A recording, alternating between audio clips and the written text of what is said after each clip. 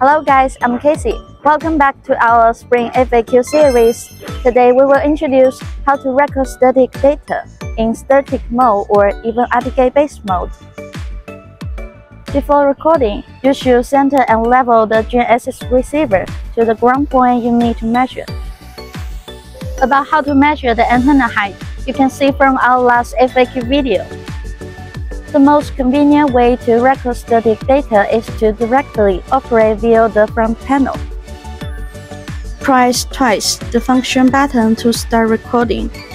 The default record interval is 1 Hz, and the default format is binary XYZ file.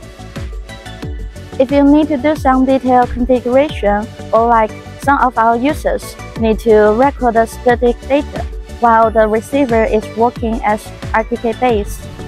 You can configure it through SingularPad software or the web page of our X1. Connect the X1 to SingularPad software through Bluetooth. Go to Device, Static and Collect Points. Configure related settings according to your demands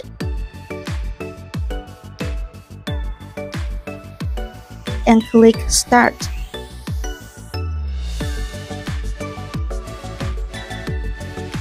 For web page configuration, you need to connect PC or PDA device to the Wi-Fi of X1.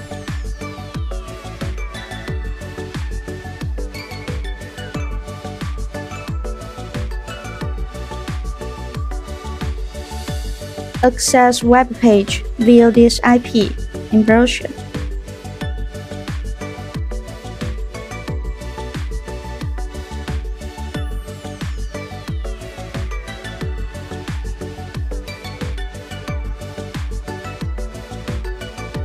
Go to Work Management, Data Recording. Click Config to set recording settings and start recording.